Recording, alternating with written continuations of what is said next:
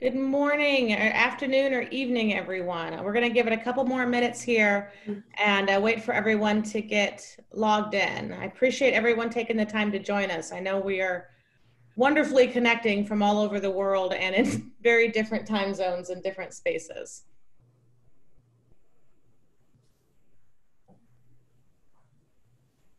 And if, if all my presenters, my colleagues here at the University of Findlay, if you can put yourself on mute, um, so we don't have cross noise, I'd appreciate it.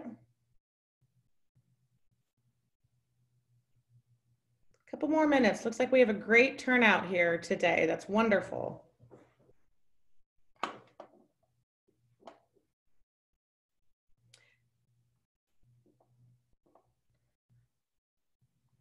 Well, I want to go ahead and officially get started, I want to welcome everyone and thank everyone for taking the time to, to log in with us and join us here at the University of Findlay. Um, a, a little bit of a housekeeping. Um, my name is Rebecca Jenkins. I know I have talked with many of you. All of you I've had quite a bit of email back and forth with. A lot of you have had the chance of talking to in person. Um, but for the sake of today, I've got a bit of a presentation to give, but I do want to leave plenty of time for question and answers. I've got my entire admissions team here as well. Um, these names that you see across the screen with Debbie, Suzanne, Toto, and Tony, I'm sure they're familiar to you.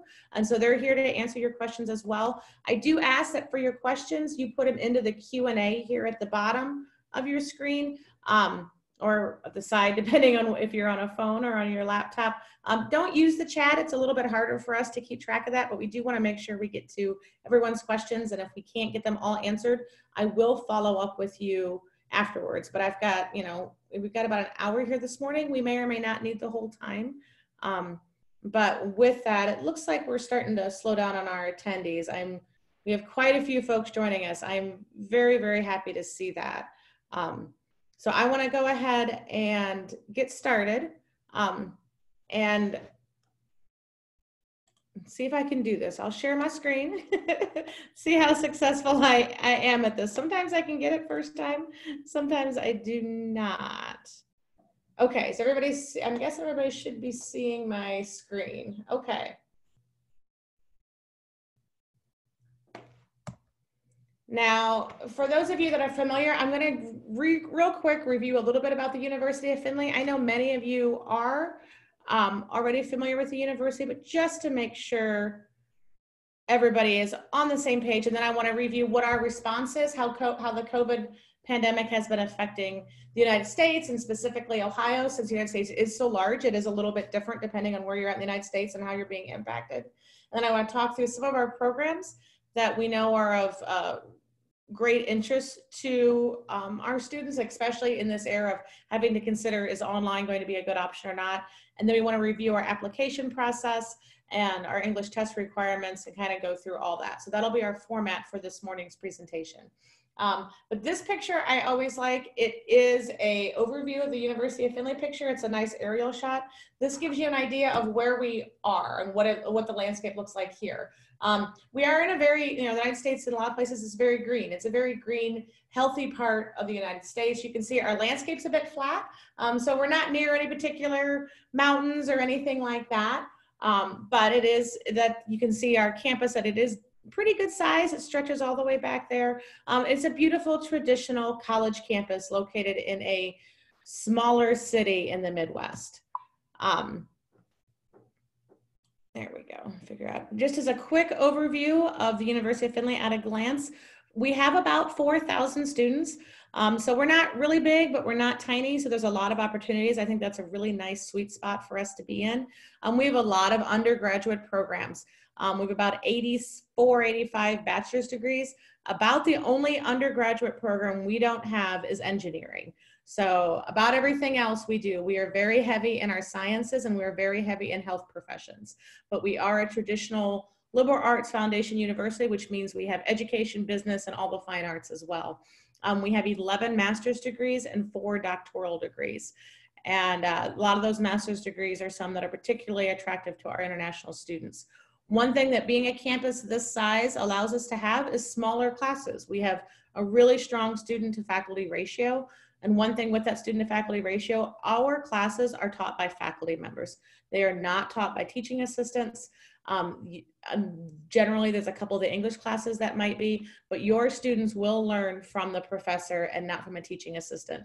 Um, the our um, we have students that live on campus. About 1,200 students live on campus, and we can talk a little bit more about options for international students with on-campus housing later. Um, we are a Division two university, so when it comes to athletics, we do give athletic scholarships.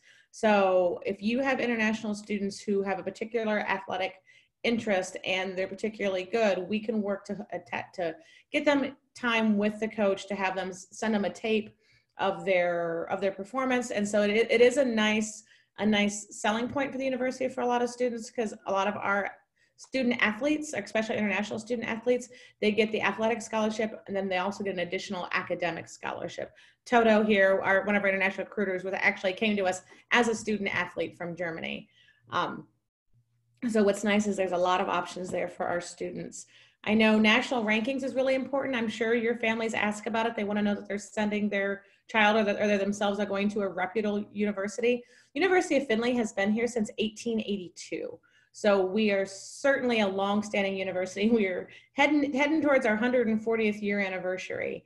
Um, and so we are um, ranked by U.S. News and World Report, the Wall Street Journal, um, Princeton Review, Money Magazine. We are actually ranked 240th in the United States, which we'd love to be in the top 100, but for a university our size, um, we to be nationally ranked is actually, I think, pretty pretty strong for us. Um, we are we are a faith-based university. We are a Christian university, so we are actually the number one Church of God school in the United States. With that said, if you or if your students or their families if they are not Christian or faith is not important to them, it is not a forced part of the curriculum here. That is not something that they will feel out of place. We welcome students from all backgrounds and all religions. And actually, it's, it's a big pride point for us that we have students that come from all backgrounds and all religions here at the university, because it is very important that we prepare our students to be great citizens of the world and not just stay in their own little bubble of what their cultural understanding is. Um, our, I mentioned that we have some really strong health professions programs. Our health informatics program is the number one online health, health informatics program in the United States, and I can talk more about that one. Our occupational and our physical therapy program, I need to update my slide, are actually ranked top 100 in the United States. So you can see that we are a very substantial, reputable university here. Um, I always like this, this graph because it gives you an idea of where we are at in the United States. We are in the Midwest. We are in Ohio. We're actually in Northwest Ohio. We are about an hour from Toledo, two hours from Columbus, two hours from Detroit. We're that nice in between. Um, it's a we're a decent sized city ourselves, but we're a, we're a really easy drive to some major cities. And in this era of COVID 19, I actually am grateful that we are not in a giant population center. I think that's helped us quite a bit um, manage through this COVID crisis. And so with that, I know many of you have questions. That's one reason that prompted me to do this webinar about how, how are we doing in the era of COVID? What is going on here in the United States? I know you guys hear many things of what is and perhaps is not going on. Um, so I want to take a chance and to talk through that and I will have time for questions on it afterwards. Um, for here in the United States and Ohio, the United States is starting to open back up. There are many, many states that are opening back up. This week is kind of the big week that a lot of things are opening back up. We were just talking here in the office this morning that our restaurants are starting to open back up and our shopping mall is opening back up today. And so it'll be a big uh, influx of a lot of people going out and, and uh, wanting to go out and, and shop and, and do all that again. So we're really excited about that. Um, in Ohio and specifically in our part of the state, the infection rate's actually been really low. I don't think we've had a new case of COVID 19 in our area in a week. So we, we, you know, we closed down like everybody else did. Everybody went and work remote, but we have largely been stayed very healthy and i pray that it stays that way. Um, our employees are starting to come back in the office. You can see that all of us are in the office again which is really nice. As nice as it was to work from home for a bit i uh, i was ready to come back. Um, our classes this summer are online. We do have online classes this summer and that includes an online ielp program um, our english language program and that actually begins classes here in a couple of weeks. And so if you have students uh, the nice thing with offering it this way is if you have students who know they want to come to the United States in the fall, but they want to get the English language requirement out of the way, or they want to um, advance their English, they can do this in a shorter program over the summer. It's an eight week program this summer, and they can jump up a level um, as part of being in this program and, and have it be enrolled online. And then when they come here or they go to another university, they've already got, they've already had a chance to get that done. It's a little bit cheaper to do it this way. It is certainly faster to do it this way. So if you've got students that are specifically interested in doing the online IELP, I do encourage you after this to follow up with myself or have the students follow up with their admissions counselor. And so for fall, this is the big question we're getting is, you know, what are we doing this fall? Um, there's a number of things that we are doing this fall. First and foremost, we are, we are preparing to deliver in-person instruction for the academic year. I know I've had a couple of couple of my recruiting partners reach out and say that they heard that all universities in the United States are closed till January. That is not the case. Um, it is not the case right now, and um, I certainly hope that that will not be the case in the future. But um, all a lot of us, a lot of our universities right here in Ohio, I've been being saying that they are planning to be open in the fall, just like we are. Um, with that said, I'm sure we're going to have to make some adjustments based on what our um, state guidelines and our public health officials say is safe. Do we need to do to keep our students safe? Um, right now, we are as a team practicing social distancing, and if we have to be in a meeting with big groups of people, we're wearing masks, that sort of thing. So we, I do anticipate that that's going to be part of what fall could look like for us. Um, but we are planning to have in-person instruction and um, and have that that experience that our students love and really really want for the fall. So, but again, we will follow what the state tells us what is safe to do. And so some things that we are doing to get ready for fall, and I know that with um, universities being closed and schools being closed and banks being closed and the testing centers being closed, that has made a lot of things stressful and trying to get things kind of crammed into a short period of time for a lot of our potential students. There's a number of things that we are doing to help make this a little bit easier for your students and for yourselves. One thing that we have started to do is we are happy to email I-20s to you. Um, the students need to be admitted. We need to have all the financial documents just like normal to be able to email them. But um, if that helps expedite getting that visa appointment as visa offices open up, or if because they're still on quarantine and getting to get their mail picked up is a little bit of a challenge, we are happy to email the I-20s. Um, you just need to have the students contact their admissions counselor or email our international at findlay.edu email address and say, um, hey, I'd like the students I-20 emailed, or you can always just reach out to me or Suzanne or Debbie directly and ask for it, but we do, they need to have all the same financial documents as regular. Um, we are continuing to mail I-20s, just like we normally would be mailing I-20s. Um, again, to mail the I-20, the students have to be admitted. We've got to have their financial documents, and then we do have them pay the e-ship fee, which I think, which is pretty standard, um, to have the I-20 mailed. And that is something that once they're admitted, um, and we have all the information that they'll get an email from Suzanne that has that information on how they can email their I-20s um, or how they can pay the e-ship so we can mail them the I-20s. Another thing that we started doing here about a month ago is I know that um, getting the English language testing scores, a lot of the testing centers were closed. So we are accepting Duolingo now for English language test scores. You can see the score there for undergraduate students, that minimum score is 95 for graduate, it's 105 for a Duolingo score. And so we are officially a Duolingo school as well. So we do ask if your students are taking Duolingo that they put us in when they go and take the test as a school to automatically get the test scores. Um, orientation, this is one that come August, I'm, I'm a little worried that we're gonna be up against some time crunches for folks depending on when visa offices open, when they get all their documents. And so we do start classes that first Monday, um, that August, ooh, I was just looking at that. We do start class, I think it's like August 18th. It's that Monday. So I know that there might be a time crunch for some folks. So because of that, we are going to run a virtual orientation on August 7th. And we will send out more information about all of that um, as we get a little bit closer to it. So with that virtual orientation, we're going to have it so students can get registered for their classes that they can go through all of the um, information that we give during orientation, getting acclimated to the community, um, all of those things that we normally do during orientation. We're going to do that in a virtual fashion. Um, that way, when they do arrive, say it's a little bit after the entry point actually starts, they're still signed up and they're and they're ready to go. But we will also continue to do an in-person orientation, which is our traditional orientation we do August 12th to the 15th. And during this time, that includes um, a lot of fun campus activities. We have a meet with their advisor. They get signed up for classes. They do a little bit of testing, all those things just like we've run it in the past. So ideally, students should arrive on campus by Tuesday, August 11th. Um, we do do airport pickup. We are happy to pick up. We recommend students coming into the, either the Detroit or the Columbus airport.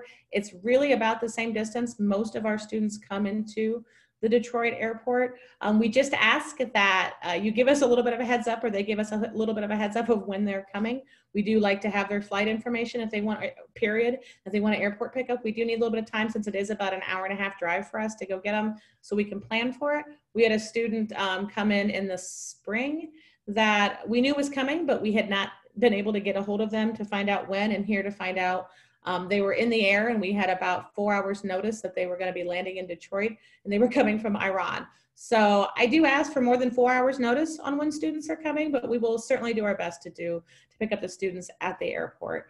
And again, if we have students that are going to be arriving late because they couldn't get their documents in time or with flights, we know that flights are going to be a little tricky, um, that we will work with students individually to get them signed up for classes, to have them work with the faculty, and then as far as pickup. So we're just going to have to play this by ear a little bit because it, like you guys know, there's so much uncertainty still going on, but we're going to do our absolute best to be accommodating and make sure that everyone who is wants to come and is excited to come here is able to do that. Um, so on-campus housing, we, we will continue to have on-campus housing this fall, and there's a lot of off-campus housing available, just like there always is. Um, we will also continue to have our welcome houses for newly arriving students. For those of you guys that aren't familiar with this, we do have um, welcome houses for them so they don't have to know where they're living right when they come. Our international students are not required to live on campus at any point in time. I do recommend that if you have students that are that they're, you know, they're undergraduate students, they're right from their parents' homes, they're 17, 18, 19, and this is their first time away from home, I really do recommend they live on campus at least the first year. They do so much better. They get acclimated to the community, to, they make friends quicker, all those wonderful things that come with living on campus. Um, but there are, there are many opportunities for off-campus living. With the welcome houses, we will follow the safety guidelines and social distancing and cleaning that, that will, that are, that are, we've already put in place and the ones that will have, I'm sure, updated guidelines by August for what is what is appropriate for that. And so we'll follow all that, but we're going to continue to offer those for our students. And those are $20 a night and they can stay up to 10 days. Sometimes students stay less, sometimes they stay more. We have graduate assistants that, that are there to help them as well. So if they come, they can help advise them on where to rent, where to live. They all seem to know where the best apartments are. They're the cheapest um, for them to stay in. So we will continue to provide all of that with appropriate safety guidelines in place. Um, so going over some of our academic programs, I know many of you are familiar with them, but there's a couple I specifically want to call attention to in this era of COVID. Um, overall, uh, you know, we've, I mentioned that we've got a lot of academic programs. The ones that tend to be most popular for international students are environmental health and safety and sustainability program. This is both an undergraduate and a graduate program, and I'm gonna talk about the graduate program a little bit more. Um, I tell you what, this is a great degree. These students, they, they graduate at the undergrad level with a four-year applied science degree.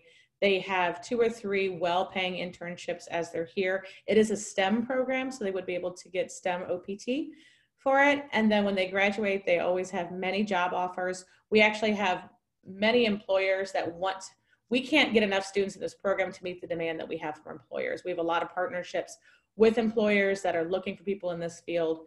Um, and I make the joke, but I'm not really joking that if I had it all to do over again, I would, and if I was better at science, I'd probably go into this field because of the, because of how, how in demand it is and how, how, um, how much money our graduates make right out of the gate. Um, the MBA program is always very, very strong for us for international students. Our computer science program, this is one that we all know is huge and is bigger now than it's ever gonna be or ever has been. Uh, we have both an undergraduate and a graduate program in computer science and applied analytics. And I'm going to talk a little bit more about our under, about our graduate program in a minute. Um, pharmacy, the PharmD degree. We have a six-year PharmD program that students can enroll both in as a first time freshman, and they can get in at zero at year six at the first year and go all the way through or they can come into the professional phase and it would be a four year program for them if they would come into the professional phase so if you have uh, students who perhaps they've been, um, India is one that tends to come to mind. Perhaps they've been a pharmacist in India and they want to go back and get a PharmD. They would come into the four-year professional program, not start, not have to start all the way over at the at the um, entry point at the year zero. Education is one that's always very popular for international students. Health informatics. This is a graduate program I talk a little bit more about. Exercise science is one that we're starting to see more and more interest in um, from our international student population. This program is really nice because it prepares you for working in the healthcare side of the sports industry. And then we have a master's in athletic training that our students tend to go right from the undergraduate exercise science program into the graduate master's of athletic training program. Um, but if you have students that want to go in sports and sports management, I know right now all of that's kind of in limbo with COVID, but if it's a passion for them, and but they don't want to go into the healthcare side of it, they want to go into the business side of it.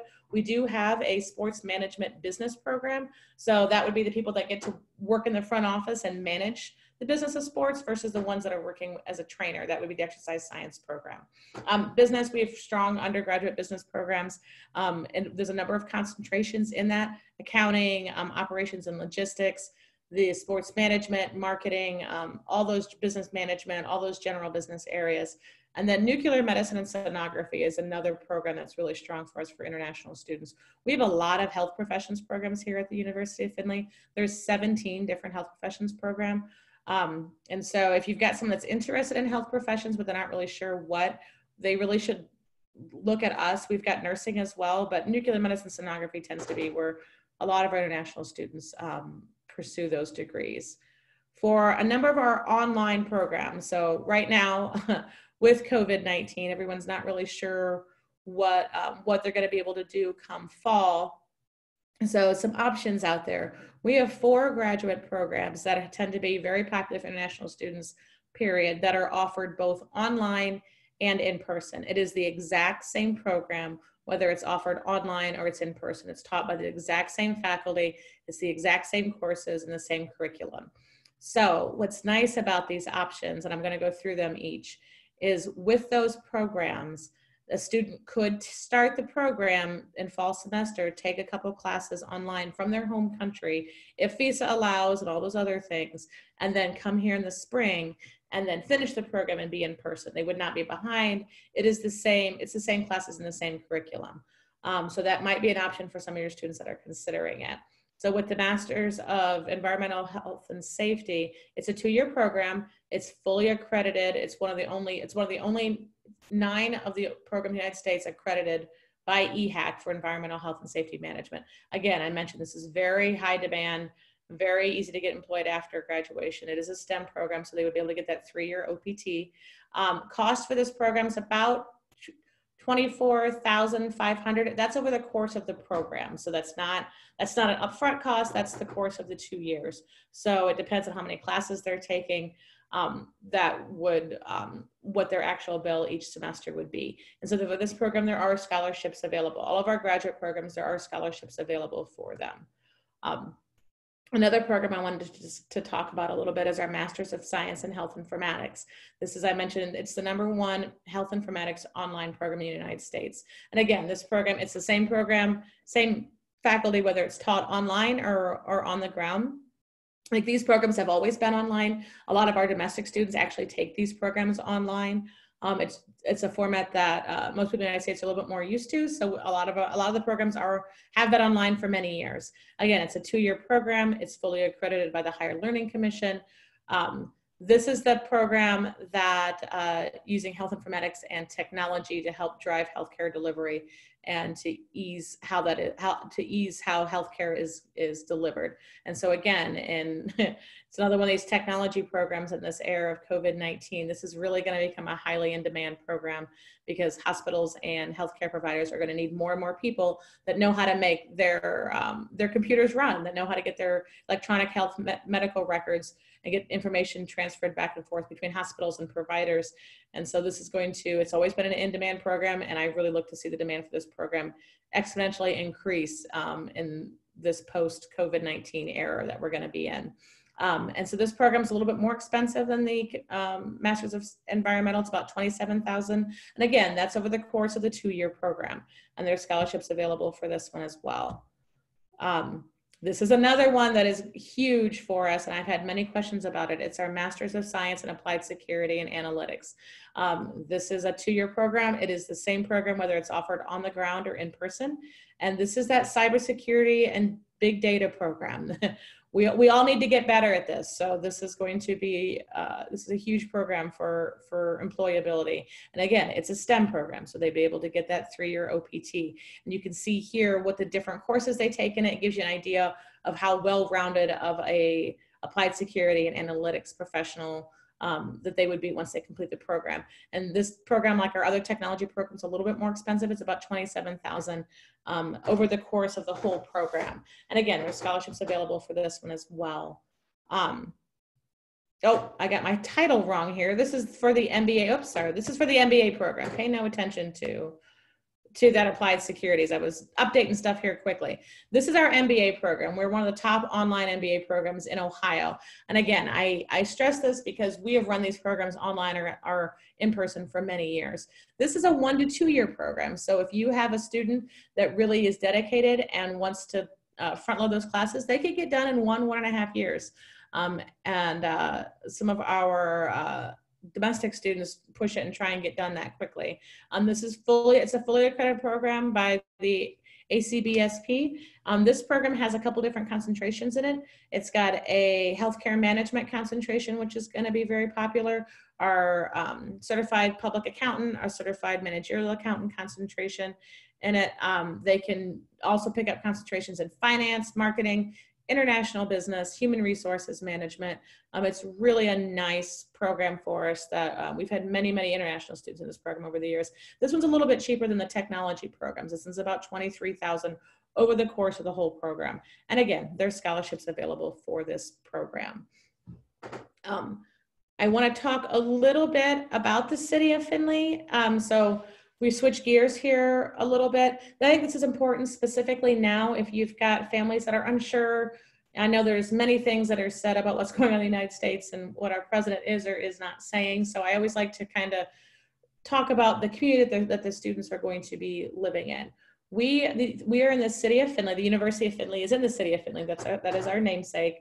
Um, we are the number one micropolitan community in the United States. And that's a weird word, micropolitan. Um, what that means is we are the top small city in the United States. Um, it is, and the, that ranking, I think we are six years in a row that we have been named the top small city in the United States. And that is named for a number of reasons. It is a safe city. It is a clean city. Um, it's about 41,000 people. There's about 70,000 people in the region, um, but within the city limits, it's about 41,000. So there's certainly a lot to do here. It's not super tiny, um, but there it's small enough that especially if you've got some younger students that they will feel safe here at the University of Findlay. The cost of living is wonderfully low here. Um, so I always like this comparison. If you compare a salary of $124,000 a year to in New York City, it's compared to about a $50,000 a year salary in Findlay. You can have the same economic status, the same living arrangements and that sort of thing and have a wonderful a, feel like a wonderful productive life for about fifty thousand dollars a year here versus what it would take for that sort of thing in New York City. And, and again, with post COVID, we are not a heavy densely populated area. I think that's been one reason that we've been able to to stay pretty low in our number of cases. Um, economics uh, the city of findlay is actually pretty affluent. There's a lot of jobs in town. There's a lot of big businesses in town um, that are located here. We have a lot of, we have a number of international businesses that are located here.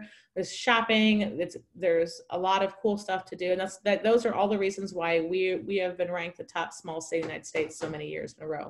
Um, one thing I always like to point out to everybody that's important, um, the weather. We are in Northwest Ohio. We have all four seasons. The summers are hot, the winters are cold, and there's snow on the ground, and spring and fall is beautiful. So it is something that sometimes we have international students that get here and they're surprised when it gets really hot, or they're surprised when there's snow on the ground. So the wonderful thing about that is you get to experience all four seasons. You get to see the, the trees change and the flowers come out and uh, hot summers and and going out to the lake and doing all the swimming, all that fun thing, and building snowmen and snowball fights in the winter. So um, just something I always like to make sure people are clear on. Tuition and scholarships. This is something that we get lots of questions on. We are a private university. And so with that, our tuition, you know, we have high touch, a lot of opportunities for students, a lot of engagement points, a lot of a lot of things that are built into the cost of tuition, free tutoring, free parking, wonderful rec center, all these things. So you can see there our tuition, um, housing and meal plans, another 10,000 a year. And we'll talk about scholarships in a little bit. Um, however, international students are not required to live on campus. So living off campus, you'll, it's only like you figure your housings and meals off campus, it would be about 5,000. So you can save a little bit of money there. Um, scholarships. We do offer really robust scholarships for our undergraduate and, and for our graduate students. So if you have a high achieving student who, and our scholarships are, are issued automatically and they're based on GPA, they go up to 18,000 a year for undergraduate students. And then um, you can see for under for graduate students, everyone automatically gets a thousand dollar scholarship if they're the MBA, the environmental program, it's an additional, it's a, a $2,000 scholarship. Um, but if they take the ACT or SAT and they get a good score, they can get additional 4,000 a year. And that goes down a little bit. And the same thing for the GRE and the GMAT, they can get additional $1,000. Now we have these scholarships because we don't require students to take the ACT, SAT, or GRE or GMAT for any of our programs. We do, however, encourage it. Um, it gives us a little bit better idea of the type of student they are. So to encourage it, we offer additional scholarships for taking it. So if they've taken it or they're thinking about taking it, I really encourage it because if not, they're leaving money on the table. Um, but a, another thing that we are doing in the era of COVID is I know money is a concern for everyone. So if you have students that they get their scholarship package, they know they know what they qualify for. If Findlay is their top choice, if they're really interested in coming to the University of Findlay, but they're looking at their scholarship program, whether they're a grad student or undergrad student, and they're feeling like, hey, you know, I got a little bit better offer from another school, or I just can't afford that, but I really want, um, I really, really want to come to Findlay. I encourage you guys to reach back out to Suzanne. We have what we're calling um, a Findlay First uh, repackaging effort. So the mentality is I don't want to lose a potential great student who's a high achieving student here at the University of Findlay. I don't want to lose them over a couple thousand dollars. So if you've got students that you think could be a great fit and um, and they're passionate and you know their family is behind them and they really want to come here to Findlay, let us know. Reach back out to Suzanne Recker and we can go to our vice president and see about seeing if we can get them a little bit additional scholarship dollars. Now, with that said, I want to stress that these are for students that they're really sold on Findlay. If they're just looking for the absolute best deal or they're they're not really sure where they want to go and they're not as good of a high achieving student they may not be someone that that we would put forth for a repackaging. So we really want to make sure we have the best students here and if getting the best students means a couple thousand dollars more in scholarship i am happy to do that. Um, and i'm sure there'll be more questions about that um, and so with that, at the application criteria, Suzanne, if you want to pop on, this is your area of expertise and can review this a little bit for our partners here. Hello, everyone. Um, this is the undergraduate application documents that we require. We require them to provide their high school transcript and depending on what country they're from, um, their school leaving certificates or their diplomas. I just would like to stress for you that when you're uploading these documents that they do need to be scanned copies of their original documents. We cannot take any true copies or attested copies or um, anything like that. The undergraduate students do need to provide an English test score, um, not to be have your application processed, but in order to be accepted and have your I-20 issued, which shows which ones we accept. And also, like Rebecca had mentioned earlier, we do um, now accept the Duolingo, and it is a 95 is what the minimum is for undergraduate applicants. We would like you to have your passport photo page uploaded and also a bank statement um, showing funds for at least the first year of studies. If you have questions about how much that would be, you can email myself or your admissions counselor. Um, the SAT and ACT is not required, but there are additional scholarships. So if you have students that have taken them, please have them um, send them to me or upload them to their application um, and we can see if there's additional monies that they can get for that. Okay. And then the graduate application documents, um, it, regardless if the student has a bachelor's degree or master's degree, we base the admission decision off of their bachelor's degree uh, credentials. So they will need to upload their transcripts and their degree certificate or their diploma. And again, I just want to stress to you that these have to be scanned copies of their original documents. Um, unfortunately, we can't accept true copies or um, notarized copies or attested documents. So please make sure when uploading them, they are their original documents. If you scan in their original documents with all the other requirements, we can get an admission decision in approximately 48 hours um, for your student. So we can, we have a pretty quick turnaround. Um, English test score, it shows on the screen. And again, we've added the Duolingo, which is a minimum of 105. Uh, the passport photo page needs to be uploaded and their bank statement. Um, the GRE and GMAT, if they've taken it, please let us know for additional scholarship monies. And I know I did see a question come through. We do accept three-year bachelor's degrees from um, India, Pakistan, and Nepal. So that is, we do accept those. Very good. Um, a little bit about our application. It is an online application. And so I encourage you as recruiting partners, if you have not gone in and and looked at the application yourself, it is worth it going in, create an account, um, playing around with the application a little bit just to get comfortable with it. So as you're advising students or perhaps you're sitting with them and helping them fill it out themselves that you're comfortable with it. One thing I always like to point out for our recruiting partners, um, with the application, you can see this section here that says additional information. This is where you can put in your agent information. So whether it's the students doing it or you doing it, um, if you have a signed contract with the University of Findlay, your agent name should be um, in this drop down here. If you're a brand new agent or perhaps um, we have a contract, contract that's expired but you're sending students, all of that is perfectly fine. We encourage you to do that all as the same. You go ahead and put, this is an open text box here, go ahead and put the advisor's name and the agent email in this as well. And that's how we keep track of our agents that have sent us students. And so when it comes to paying commission, that's the first thing I look at to making sure with commission um, that that we are we are appropriately rewarding our agents who have been really good partners with that with us. Um, and with that, I know that we've got some questions coming in, so I do want to open it up for question and answer at this point. Um, I hope that this has been helpful so far, and I see that we answered the three-year three-year degree one. Um, is the MBA program STEM approved? Debbie, you want to take that one? Uh, unfortunately, no, our MBA is not STEM approved. Um, as Rebecca mentioned uh, earlier in the presentation, though, several of our graduate programs are for the environmental, the health informatics, and the, uh, analytics is also STEM approved. But unfortunately, at this time, our MBA is not. Good, good. Um, another question, and again, you guys put your questions into the Q&A here at the bottom of your screen. You should see it. Question is, what if a student has not got a visa slot? Can a student get an extension if situation gets normal? Debbie, that's yours too. um, so yeah, we're fully aware that um, that fall is definitely going to be challenging. Um, depending on when um, the embassies open up, it, it could be crazy busy, and it's going to put some delays in there.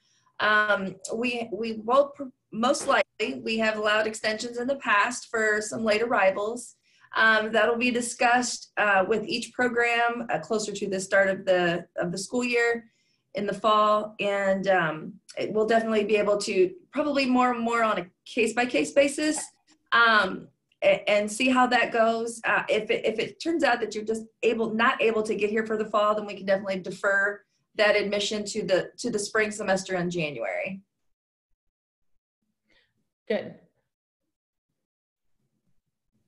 Yep, an extension and orientation is another, this is another question about COVID-19. Kind of look for an extension and orientation might not allow for air travel from India. Yes, this is another one. We are absolutely going to work with everyone on a case by case basis. We know that flights are going to be a little tricky, visa appointments getting that a little bit late. So just, I just ask that if you, if you yourself or you've got students please just let us know what's going on. Let us know what's going on with that student. We will work with them on a case by case basis. For orientation, we're going to do that virtual orientation to try and get some people, get, get that all squared away so you don't have to worry about getting signed up for your classes if you're going to be coming in a little bit late. Um, but again, just keep us in the loop with what you're doing and we're really going to work with everyone. We know this is challenging for everyone, but um, one of the great things I think about the University of Findlay is we have the ability to be flexible and turn things on a dime. You can see the team here. These are the people you're working with as you're trying to help your students. Uh, it's one reason we're able to process applications quickly is because Suzanne does them. It's one of the reasons that with immigration questions, you can get answers right away and can get your your um, I, I-20s and get it squared away because Debbie does them. And, you know, we're all sitting here in the same space. So um, this is something that we're really, we really want you to stay in contact with us and we're going to work with you as best we can. Um, good question. Toto, this one I think is good for you. What academic background required to apply for the Masters of Science and Applied Security and Analytics? Um, so for the Master of Science in Applied Security and Analytics, um, the basic GPA requirement is a 3.0 GPA. So if your student has, for example, a 2.95, we will still consider them. The, the University of Findlay, we look at all students on an individual basis, case by case. So even if the GPA is a little lower, it's still fine. Um, we do require for that program recommendation letters. Every student has to have three recommendation letters, ideally by professors or supervisors from the past, and also a statement of purpose, which where the student states why they really want to go into this program and what their goals are after they're done with the program. Good. Uh, for undergraduate admissions, do you accept, ooh, I don't know if I know. Suzanne, do you know what this one is? Yep, we sure do accept the O level and the A level um, documents for undergraduate admission consideration. Yes, we do. That's the British um, system for for education. Yes. Yes, this is why Suzanne is an expert at what she does, and I am not an expert in that area. um, email ID for sending scanned documents. We would prefer that you upload the documents to the students' applications. Um, and you know, just where, where you fill out the application, you can go right back on there and upload the documents. If you have a single document or something that you can't get uploaded, you can send it to my email address and that's S like my last name, at findlay.edu. Good. Uh, this is a good question. After the master's, what is the ratio of people, those who get a job from the university? Um, I don't know if that is something that we have tracked officially. Um, I can tell you that Toto has a master's degree from the university and is and is working here at our national missions office. So that's not a data point that we actually track, but something that I'm thinking we should start tracking. So I do appreciate the question. I'm sorry I can't be more specific with my answer. Um, okay, another question. How many backlogs can you consider for graduate admission? We don't really have um, a number for that. Um, we do consider them when making the admission decision, but there's really not a number that we go by. Okay. I have a, yes, and this presentation um, will be automatically sent to everyone that's on here. And then if you, and if you people that signed up that weren't able to join us because of time zone, they'll automatically get a copy of the presentation. Um, but I will have it and send it out as well, just to make sure everyone has it. I do encourage you to share it with, with your potential students or with your other recruiting partners. Um, on-campus placements is another question. Do we have on-campus placements? Tony, you want to answer that one as far as on-campus jobs?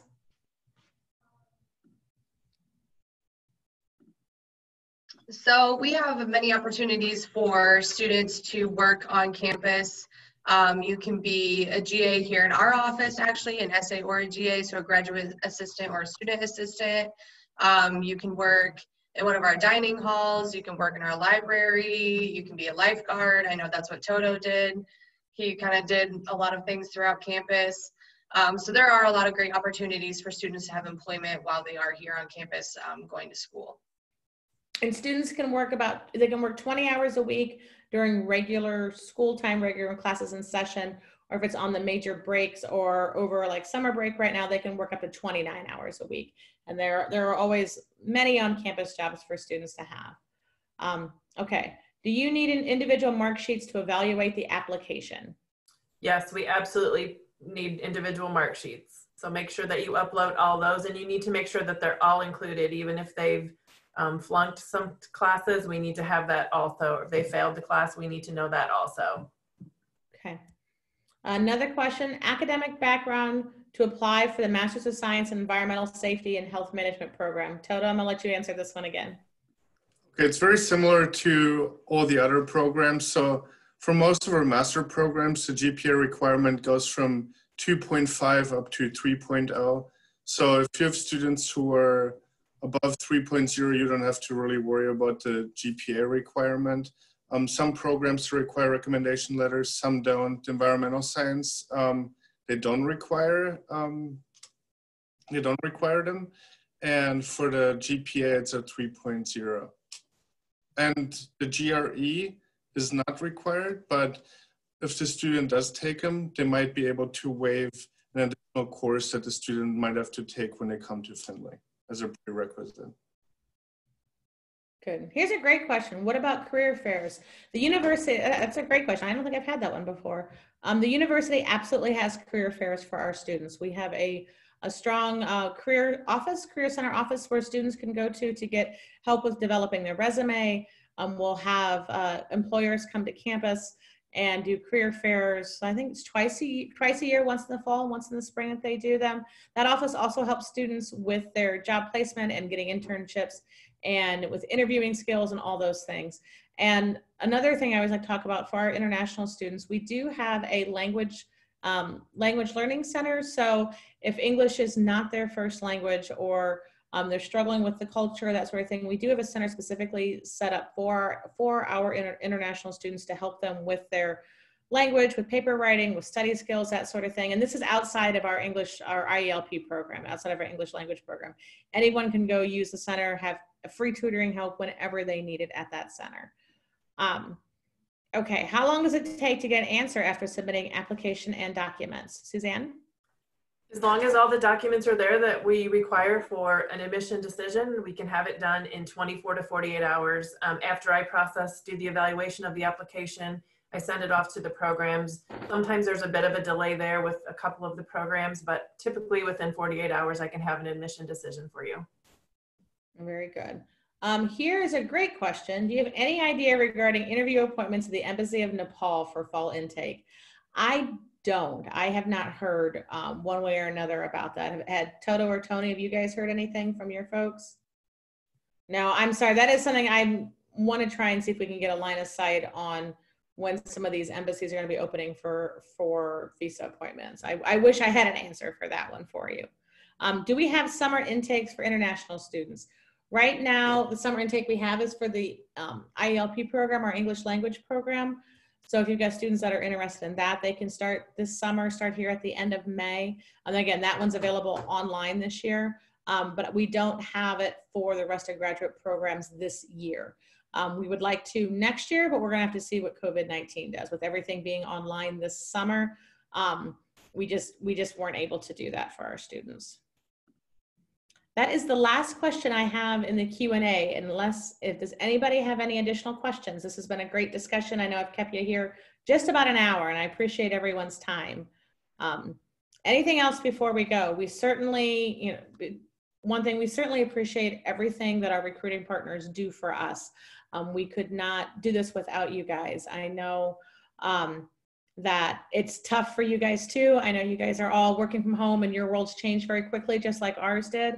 And I do certainly appreciate that everyone is continuing to work with us and work to do your best to send students. And we will certainly work to do our best to support you in anything that we can.